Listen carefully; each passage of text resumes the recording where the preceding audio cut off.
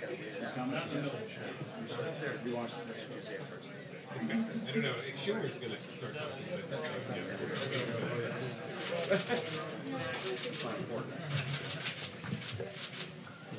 right. Morning. Um, Just here to get you folks up to speed uh, on where things stand uh, regarding the potential lapse in funding, the shutdown. Uh, OMB is preparing for what we're calling the Schumer shutdown. Um, It still surprises me, and I've been through some of these before, um, that the Democrats in the Senate are opposing a bill that they don't oppose. Um, They're for clean CRs. Uh, They're for the, the extension to the CHIP program. Many of them support the delay in some of the taxes, most specifically the medical device tax, the Cadillac tax especially. Um, They don't oppose anything in the bill, uh, but they are opposing um, the bill. Um, I just want to let everybody know that uh, we don't want this. We do not want a shutdown. Uh, But if Mr. Schumer insists on it, he is in a position to force this uh, on the American people. Uh, From an OMB perspective, because we're involved in managing a lapse or a shutdown, and we want to make folks uh, understand that it will look very different um, than it did under the previous administration. One of the things that I've learned since I've been in this office um, is that there's no other way to describe it, but the Obama administration weaponized the shutdown in 2013. Um, What they didn't tell you was that they did not encourage agencies to use carry forward funds, carry uh, forward funds, funds that they were sitting on, nor did they encourage uh, agencies to use transfer authority. Uh, They could have made the shutdown in 2013 um, much less impactful, um, but they chose to make it worse. The only conclusion I can draw is they did so for political purposes. Um, So it will look different uh, this time around. Uh, We've also got, um, uh, we can ask for questions, uh, take your questions about specifics on that. Uh, Marc Short is also here to give you a very brief update on where we stand, and then we'll take your questions for a few minutes. Um, go ahead? Thank you all for your time this morning. As uh, Mick said, last night, the House passed a bipartisan bill with 230 votes. The president stands ready to sign that bill to keep the government functioning and afloat. It appears unfortunately that Senate Democrats are entrenched in forcing a shutdown. I think that there's obviously a lot of hypocrisy in this town. I think there's some ironies to point out. As uh, the director said, Nancy Pelosi a couple years ago called them, quote, I call them legislative arsonists in referring to those who were voting for a shutdown at the time, uh, commenting that uh, uh, they're there to burn down what we should be building up in terms of investments in education and scientific research. Chuck Schumer had said at the time, it's sort of like this. Someone goes into your house, takes your wife and children hostage, and then says, let's negotiate over the price of your house. In essence, that's the same tactic they're deploying. Last night, I'm sure many of you know, uh, y'all uh, asked Senator Feinstein her position, and she said that if the government shutdowns, people will die. And as a follow-up question, how's she going to vote? She said she hasn't decided yet. People are going to die. I don't know how I'm going to vote on this. So here we are. I think the reality is that this is not about policy, it's about politics. As Mick said, we're not familiar with anything in this CR that Democrats are opposing. In fact, uh, they, they champion and support the CHIP program. This will reauthorize it for six years. I believe new study says there are 9 million children now getting health insurance through that program. The reality is that we will jeopardize payments for our military and our troops and those serving on the front line of our country, both at Customs and Border Patrol, ICE, those who are trying to protect our borders and protect our country. This is a serious issue. Um, we are frustrated, obviously, because Mick's job is to submit a budget to Congress. Let's keep that in perspective. Mick does that in February. Congress has months to complete appropriations process. The fiscal year ends on September 30th. We're now in mid-January. It is frustrating to all of us that we're in this position. But what's unclear is what is it that Democrats are asking in order to get out of a shutdown? It seems that they are just hell-bent on getting to a shutdown. We are anxious to make sure that our troops and those serving on the front lines of our country continue to get paid. Marc, Marc, Marc, Marc, Mr. Mulvaney. Uh, So, uh, Marc, a- a a couple things on that. Uh, I think we know what the Democrats are asking for. They want a deal on DACA. The president, on the other hand, uh, uh, tweeted last year that our country needs a good shutdown. Isn't he getting exactly what he asked for? And it was the president, as, as I'm sure you know, Uh, the last time we had a government shutdown, who said it is the president's responsibility to lead. He needs to get the players in the room. He needs to lead. So how is he going to lead on this? So, Jonathan, a couple points there. One, the president was very active yesterday in bringing together the House votes to get 230 votes. He was he was speaking to the Freedom Caucus members. I think that was that was where we had the best challenge yesterday, and he he helped get that bill accomplished. I think he's making continued calls this morning. He's called both bipartisan members today. He will continue to do that. He is leading on this issue. Um, regarding DACA, we feel that the administration has put forward our plans on this. Keep in mind that Secretary Kelly a year ago went to Congress and said, we need a solution on DACA. We asked Congress to fix it. We knew what was going to happen when several states sued the federal government over Obama's unconstitutional policy here. We gave them plenty of heads up and warning on this. Back in the fall, we submitted our priorities to Congress in October. We then refined those at their request to say, this is too much. We basically negotiated against ourselves and winnowed down that list for them to say, here are practical things that are necessary to get to a deal on DACA. We have put forward that plan. We think that right now, you just saw a study a couple days ago that showed 2,500 people on the terror watch list are trying to get into this country every year. That is seven per day. Seven per day. We think it's time to fix the immigration problems in our country. And we have put forward a proposal to do exactly that. We're continuing to have conversations. I think we had productive conversations yesterday with Leader McCarthy, Steny Hoyer, um, Senator Durbin and Senator Cornyn. We're about to go back up the Hill to continue those conversations. I think they're making progress. What doesn't make sense is to say we're going to shut down the government just because you're making progress, but I need something else. Mr. Uh, let me ask you a couple questions over here. Director Mulvaney, if I may. To the president's comments about S-hole countries, what responsibility does he bear for the challenges there have been to try to come to some You deal? know, go back to what Marc just said. The president, let's make one thing clear about that. One of the differences between where we are now and where we were in 2013. Okay? The president is actively working right now to try to prevent a shutdown. I will contend to you that is dramatically different than what President Obama was doing in 2013. I will. I was there. Okay, I was involved heavily in this in 2013, and I will tell you that it's absolutely my belief that President Obama wanted a shutdown in 2013 because he thought Democrats would, excuse me, Republicans would get blamed. So let's talk about today. The president, as Marc just pointed out, actively worked all day yesterday to try and get a bill through the House and continues conversations today. So there's no way you could lay this at the feet of the President of the United States. He is actively working to try to get a deal. That's one of the differences. Yes, sir. Director Mulvaney. So why not bring leadership here as a last ditch effort? Um, I think the president's continued bipartisan conversations. I don't, I'm not privy to his, Conversation in person. um, I- again, I'm not privy to the, the meetings the president may or may not be having. Yes, sir. This is a question for Marc. Marc, I know we're talking government shutdown, but this is an important topic for the expected 100,000 or more people taking part in the March for Life today. So I want to ask, the pain-capable 20-week abortion ban has been fast-tracked in the Senate. When do you expect to vote, and why does the White House want to vote if it's likely to die? I think this administration has continued to defend life uh, from the very beginning. Uh, The vice president last year was the first vice president to speak to the March for Life. The president is hosting people here to protect life. It's an important issue for this administration. You saw with reversal of Mexico City policy, the president has looked to make sure that we are making sure that taxpayer dollars are not used overseas to fund abortions. Um, That is a commitment of this administration. We don't have a date as to when the Senate will vote, but to your question about whether or not it fails or passes, we think it's important for this administration to be on record in support of life.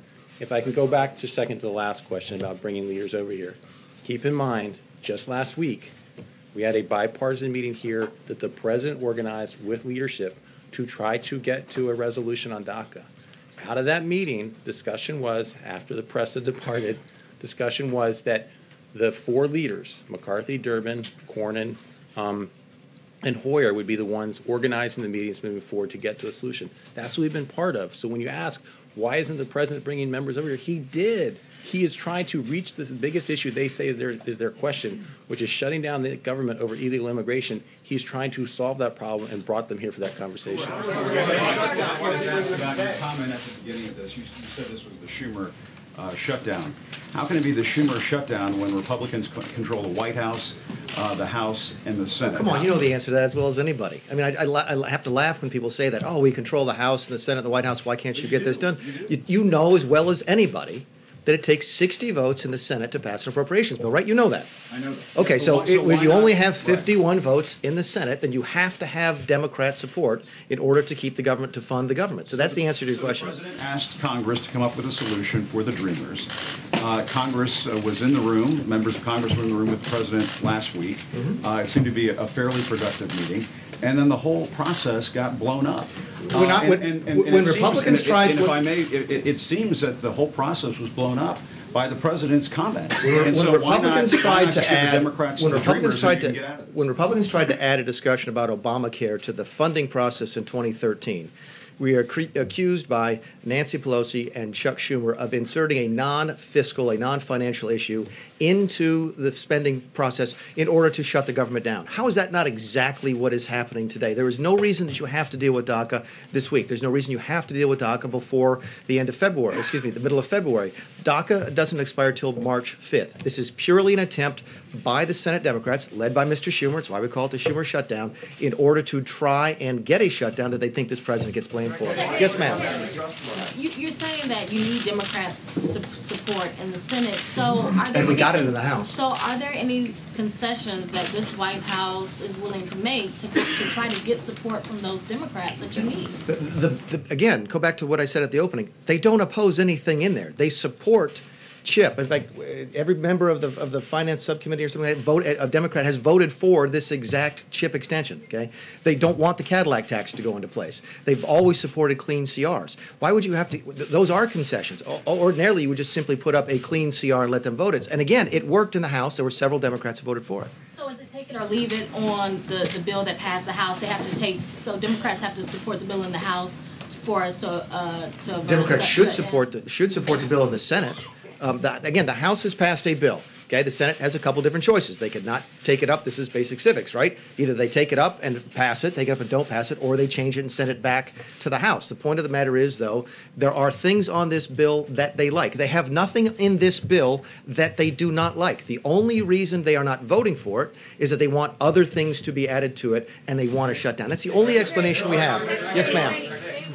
The main thing Democrats want added is DACA. Yeah. And, and you've said before, many of you have said everyone agrees they want a solution on Mm-hmm. DACA. So what is the big sticking point then on your end about including a DACA fix in this bill? I think Marc mentioned that earlier, that the bill's simply not ready. You don't get to vote on a summary, you don't get to vote, you don't get to vote on, it. there have been months of of work on it. As you see with any major piece of legislation, it doesn't and shouldn't come together overnight. There's no DACA bill to vote on, and there's no emergency in terms of the timing on DACA. DACA does not expire until March 5th. So there's absolutely no reason to tie these two things together right now. Can I, can I follow up on that one for one question? Because again, I think it's important to remember that yes, we're approaching the March 5th deadline, but the president put forward what he asked for last fall. We've been asking Congress to address this. And Jim, back to your question, the reality is there is no legislation for them to pull up.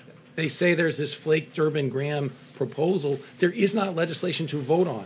So when they say we need to have DACA solved before you do a continuing resolution to keep the government open, there isn't actually a bill for them to even vote on, which I think shows that this is really about politics and not really about policy. And I think, I think General Kelly will also tell you that he actually mentioned this to the senators during his confirmation process. So this administration has been trying for at least a year now to get some progress on DACA, and it's Congress that's taking that. Yes, Can I sir. start with Marc if I could, and then I got a question for you as well, Mick. Um, You, you're, you've been the one who's been up there on Capitol Hill every day. What, what I'm getting from the podium today is if this happens, it's the Democrats' fault.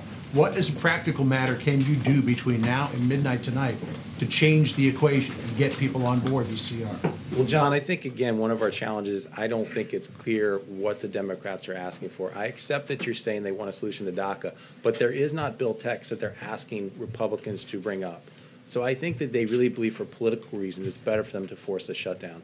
The president is continuing to reach out to them, and he will continue to do so throughout the day.